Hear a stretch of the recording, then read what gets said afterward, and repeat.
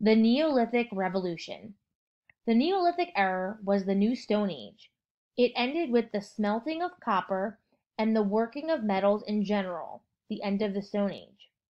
But before that happened, there was an economic revolution, or perhaps an economic transition, since it was not sudden or violent. This transition occurred around 8000 BCE, in the middle of the Neolithic era, and is called the Neolithic Revolution. Hunters and gatherers. Paleolithic people were hunters and gatherers, but so were early Neolithic people.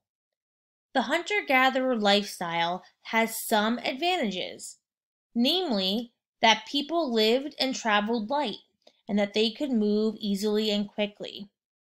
However, there were significant disadvantages to this lifestyle. First, sources of food were not consistently reliable. Groups would often go through periods of feast and periods of famine. Second, the focus of the group was on survival, and all energies were directed towards this. Finally, having to constantly move and hunt wild game yielded a more dangerous existence than a settled lifestyle.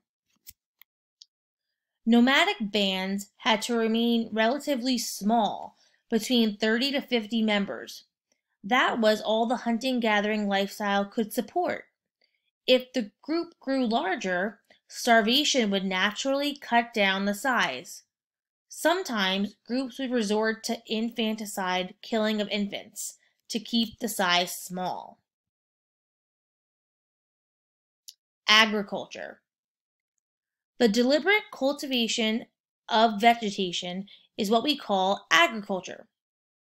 The idea of planting, raising, and harvesting edible plants did not happen overnight. The role of women in hunter gatherer groups was to forage for berries or edible plants. These foods were eaten and the seeds were tossed outside the group's campsite. Groups tended to return to the same campsite seasonally, and women began to notice that the seeds had grown into plants, which yielded the same berries or fruits. Over time, groups began to deliberately sow seeds of desirable plants. Grains like wheat and barley were grown in the Middle East. Rice was cultivated in Asia, and products like yams, okra, and black-eyed peas were raised in West Africa.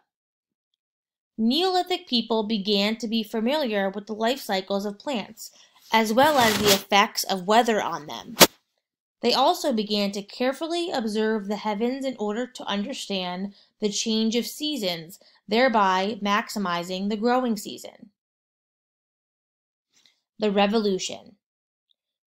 People wanted to create a situation where food production was more consistent and reliable.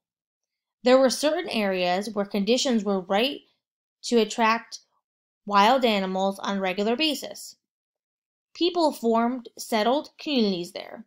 However, to be able to form settlements wherever, two things needed to occur deliberate cultivation of plants and domestication of animals.